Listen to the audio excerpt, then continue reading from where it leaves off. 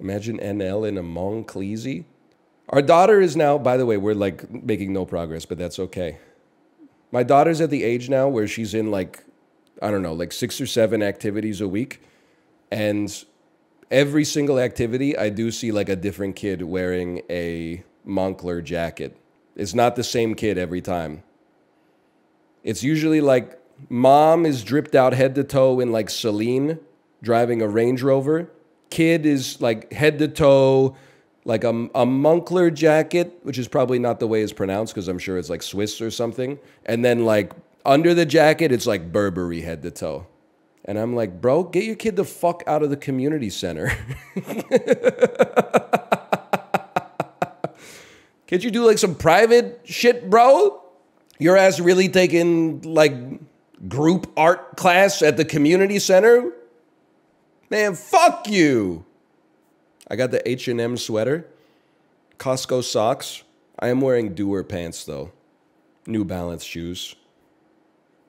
Roots hat or a baseball cap from Winners. I'm wearing a Thrash tank top and Rick Owens. Jack Dorsey, Jack Dorsey in the in the chat.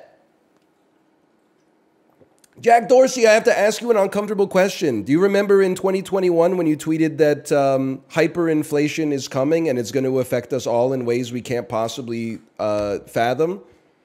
Well, it's three years later, brother, and uh, they're back at somewhere between two and three percent. Would you like to? Would you like to respond? How, librarian, how did you have that? How could you have possibly had that lined up?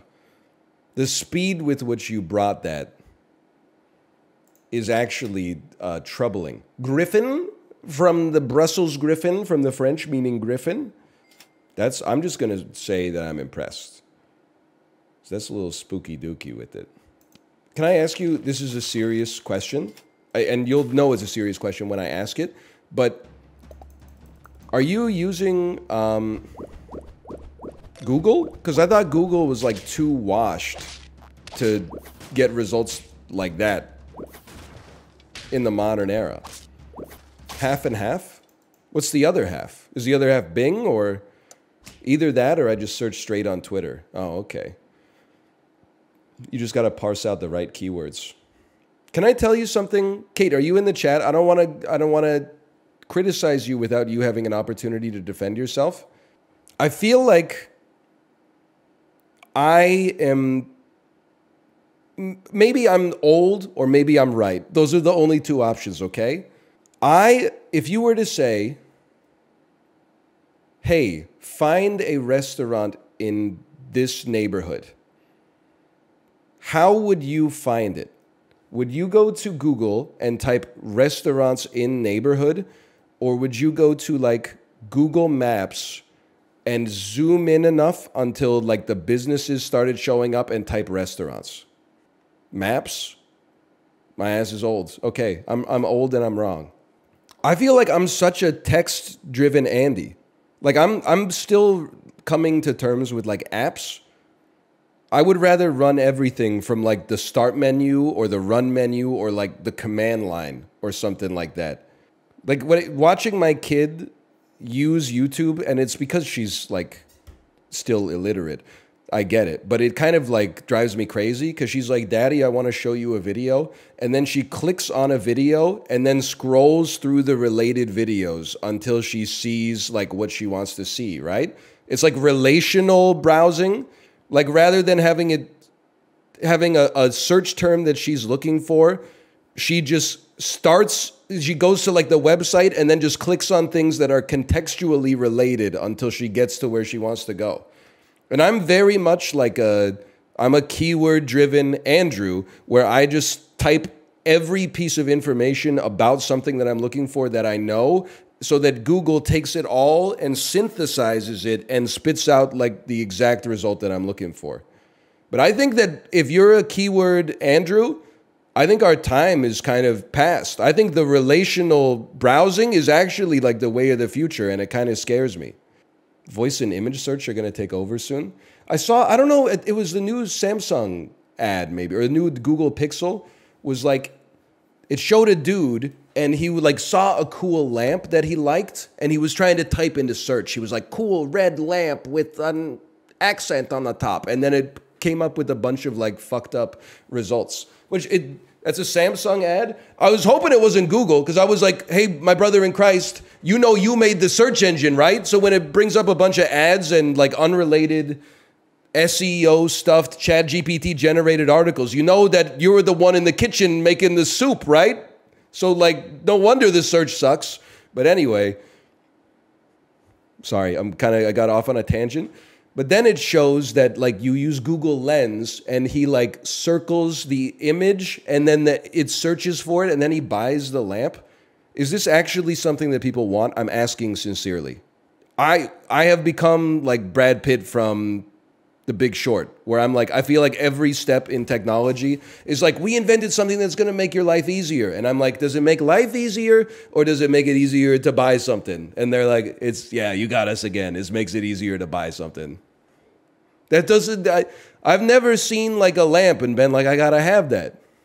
I don't know if, if I'm in the minority or something, but I could imagine if that was out when Drive came out and everyone wanted Ryan Gosling's jacket. Holy. Did you see the guy with the drive jacket at the parliament? I did not. Uh, but you have correctly surmised that that is something that's relevant to my interests. I mean, it's not like that big of a deal. It's just more like, I don't know.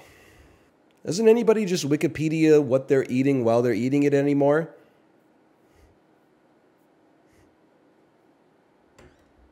I'm in a position of weakness because all of my content is supported both by direct support and also advertisements. well, this shit is pissing me off, bro.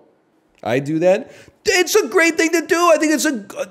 I know it sounds insane, but if you really think about it, it teaches you relevant stuff about your life or stuff that's interesting to you.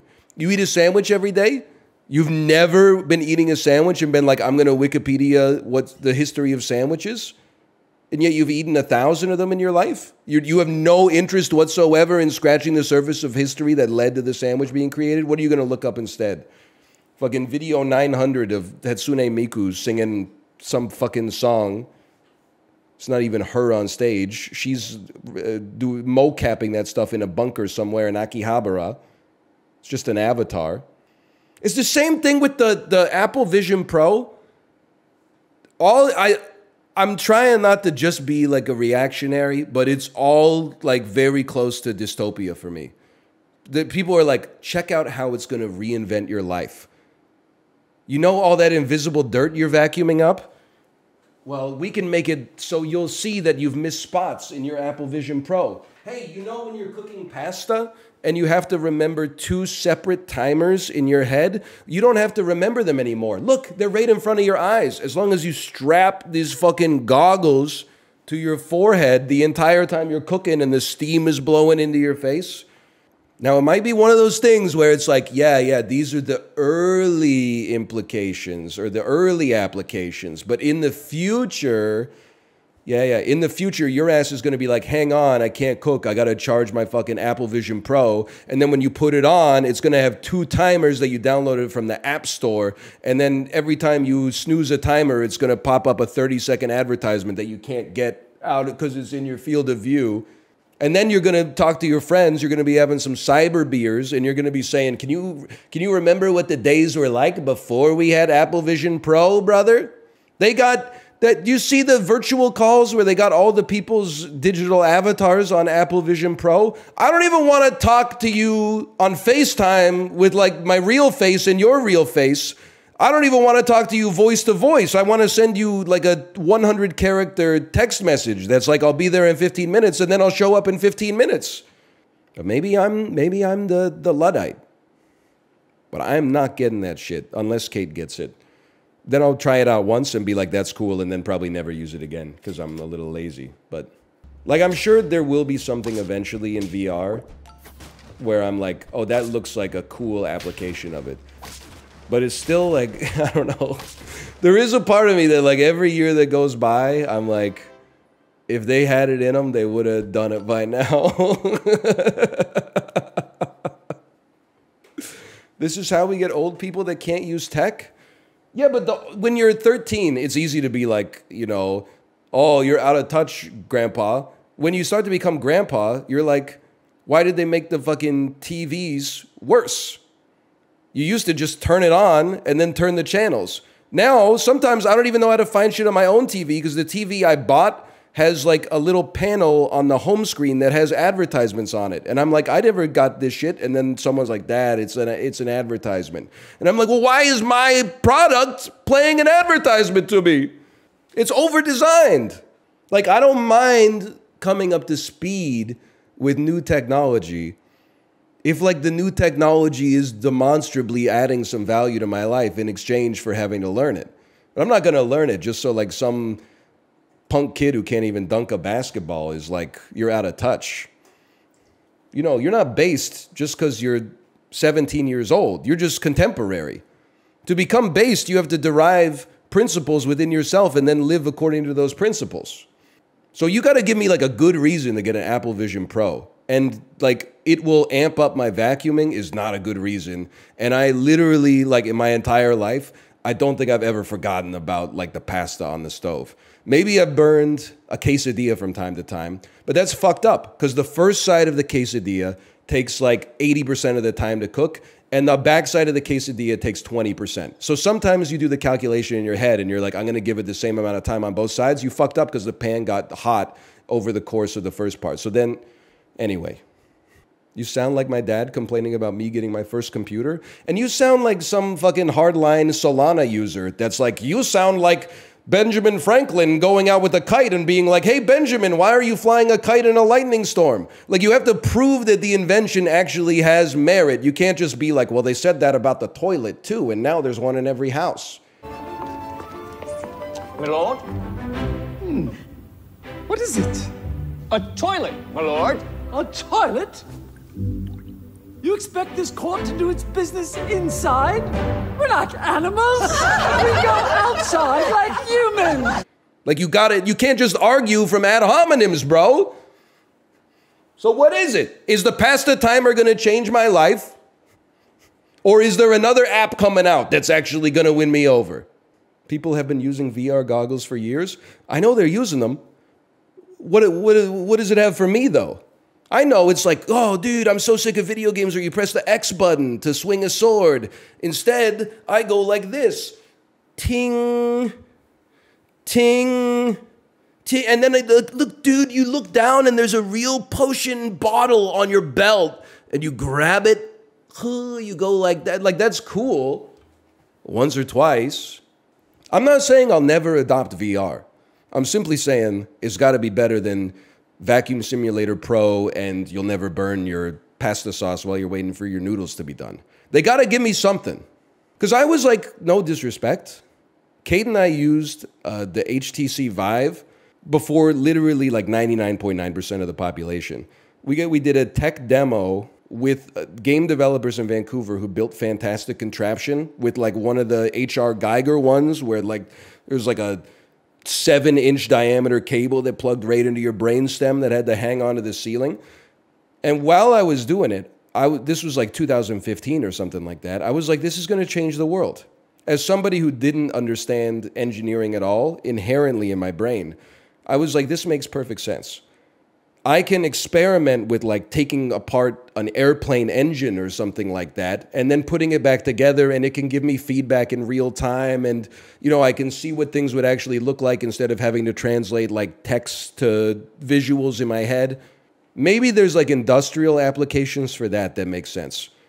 But they if they're going to hit the app that causes mass adoption, for me it's not going to be FaceTime visible timers on the screen or I'm vacuuming up coins like some kind of fucking lab rat that's like, I just can't focus on vacuuming. Can you just put some kind of Skinner box in it so if I vacuum up enough coins, I can make it look like my vacuum is like a laser vacuum? Like, I already fucking figured that shit out, okay? Maybe for people that are younger that haven't had to build that kind of like tenacity, that will help, and I'm not even against it. But I'm just saying, I already solved that like in the firmware. I can clean the bed. They, they already have that. They already have the chore enhancer. It's called Bluetooth earbuds and a podcast, okay? They just got to give me something a little bit more exciting. And it's not going to be shooting the bow and arrow. They'll, I'm sure they'll come up with something at some point. And then I'll be like, ah, why didn't they? They need a second one. But they got to get the first one first. I think there's a global market for five computers, maybe. Ryan, you got me all wrong. You, you need to learn how to debate. Again, it's the same. What's, what's the counter argument for the dudes who are all in on Monero? You know, who say, like, well, I've, I've got my net worth in Bonk coin right now. Hey, that's pretty stupid. You know, they laughed at Thomas Edison too when he said he was going to invent the light bulb. That's true. They've also laughed at a bunch of stupid ideas. Like that, it's a statement that inherently doesn't mean anything. You have to have it like you get instead of being like this is how people felt about old technology. How about telling me why it's going to change the world? I'm waiting for the non-pasta. I would love to get onto it. Nobody knows yet. Okay, well then, as far as I'm concerned, then I'm right for now. Maybe it'll change. but for now, I feel I feel like it's right. I didn't say the tech is worthless. I said it's worthless for me. Maybe you suck ass at vacuuming and cooking pasta. And that's not to say again that that's all the technology is good for. But you got to tell me one of the things that it's actually good for. Otherwise, I'm just going to keep talking about the pasta timer and the vacuuming. Or the dude who is doing his laundry while watching Spider Man in his field of view. Is the Peloton not just a gamified bicycle? Is well, it's not really gamified uh, the way I use it for one, and secondly, no one's like there's going to be a Peloton in everyone's household. Whenever someone's like, "I'll just use a real bike," I'm like, "Fucking go ahead, by all means." But I'm like, I'll just use my eyes. People are like, "You would have been." the dude taking a steamship across the Atlantic Ocean after they invented the jet. I'm like, I don't know. I can kind of look at a jet and be like, holy shit, that takes a seven week trip and takes it to like seven hours instead. That's kind of crazy. I can see the utility, but apparently my ass is not a forward thinker because I can remember that the noodles take eight minutes to cook and the sauce is just done when you pour the noodles into it. I just gotta, you, if, if it was, if it had practical applications, which it might, you would be able to tell them to me instead of making personal attacks on my character. That's all I'm saying. You're actually, in my personal opinion, you're strengthening my argument by just insulting me instead of attacking my position. Plus, I am not always anti technology. You're right. I thought Quibi had a chance. Now, I was wrong. It made sense to me, bro. Vertical videos. Everybody, everybody's watching content on their phones. Vertical videos. We need vertical TV. It's the way to go. I was in a Quibi. I had to track down the producer on LinkedIn and get him to pay me the $100 he owed me. That sounds like it tracks. Did you think Threads had a chance? Um, I don't know. It's still it's a complicated situation. Because maybe like there was a time where I thought that like Twitter being asked means that it's the right opportunity for like another Twitter to show up. But I have increasingly come to this position that like Twitter is a you cannot recreate Twitter. And it's not because it has any special sauce. It's just because it was born in a different world. And you if you ask people to like buy into a new Twitter, you would be like, "No, we know that it's fucking horrible for you now." This is like the difference between, like, if you're already addicted to smoking cigarettes and someone was like, You're not addicted anymore. Do you want to try a cigarette? You would be like, Absolutely not. It's going to kill me. But at the same time, if you were like, Well, why don't you quit now? You're like, Well, I've already come this far.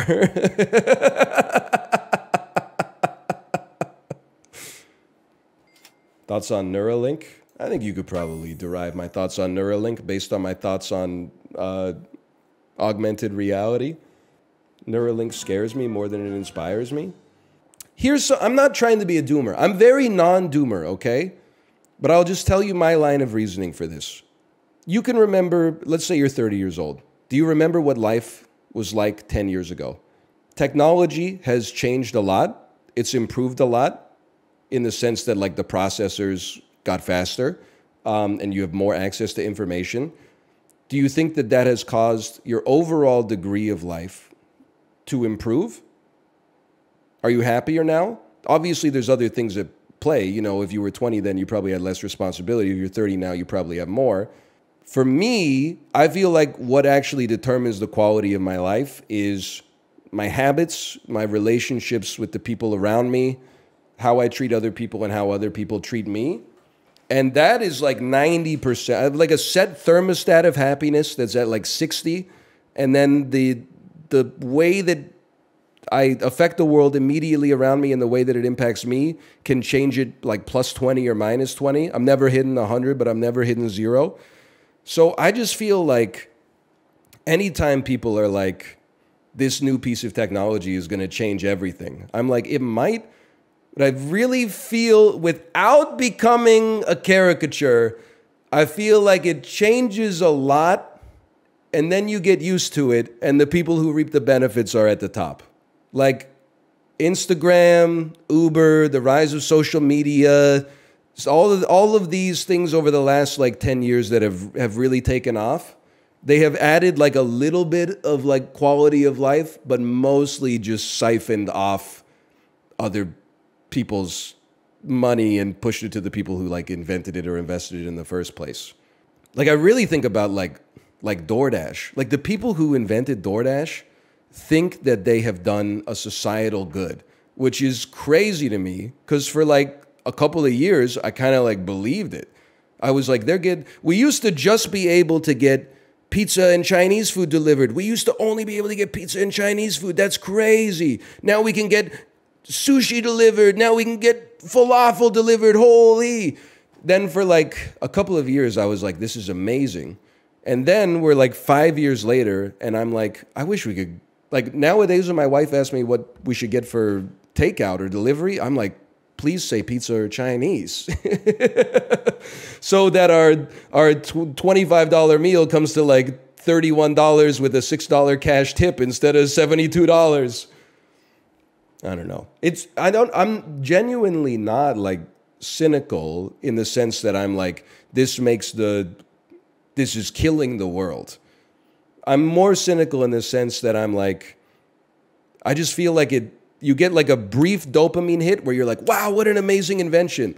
Then your level of contentness in life like acclimates to it in six months. And the only lasting impact is that you feel like you can't go back.